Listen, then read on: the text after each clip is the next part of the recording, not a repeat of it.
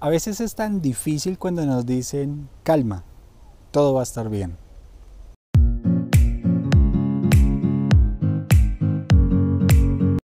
¿Qué tal amigos? ¿Cómo están? Bienvenidos a nuestra serie bíblica Los 3.16. Hoy estudiaremos el libro de Job capítulo 3 versículo 16. ¿Y por qué es importante este versículo en la vida de Job? Porque si empezamos a entender quién era Job, fue un hombre que, de acuerdo a la descripción bíblica, a los ojos de Dios era una persona perfecta. De hecho, inclusive lo colocó como modelo entre toda la tierra de esa época. ¿Quién como Job? No hay una persona que sea eh, mejor que Job, un hombre perfecto, eh, que era honesto, que tenía su familia de la manera correcta. Sin embargo, eh, Job perdió todo, en un día perdió todo, riquezas, familia, honor, salud, perdió absolutamente todo. Y perder eso hace que entremos en una desesperación impresionante.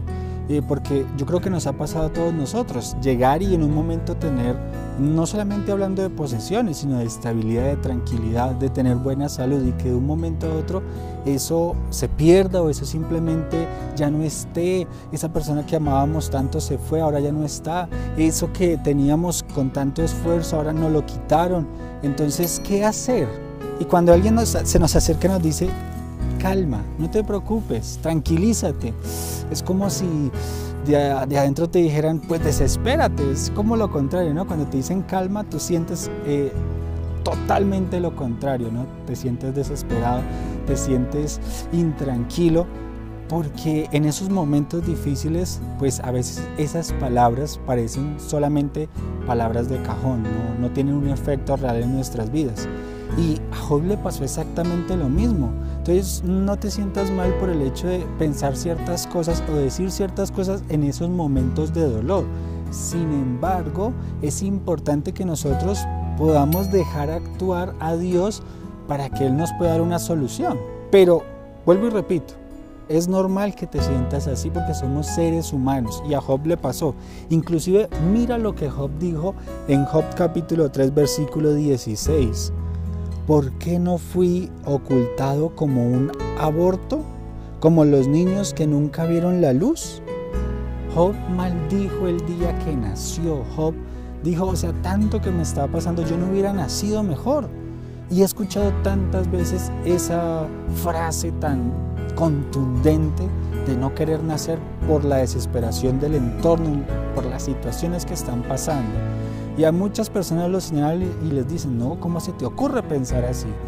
Sin embargo, es el dolor el que nos lleva a decir ese tipo de cosas. Le pasó a Job, pues imagínate una lepra desde la cabeza hasta los pies, que le tocaba rascarse con una teja, que perdió todos sus hijos, que perdió todos sus bienes, que todos le dieron la espalda. Y los supuestos amigos que llegaron a decir, vamos, anímate Job, lo terminaron señalando. Pues ¿quién no se va a desesperar?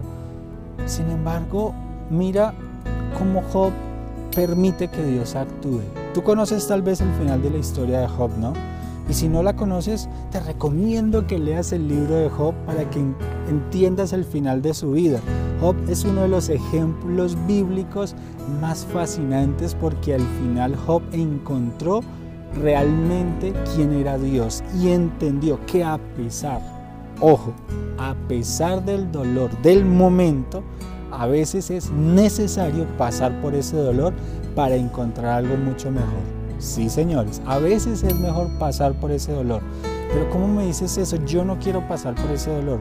Yo sé, yo tampoco quisiera pasar por ningún dolor, porque nadie le encanta eso. El que, le, que diga, uy, no, a mí sí que me encanta sufrir, uy, no, que se venga otro sufrimiento.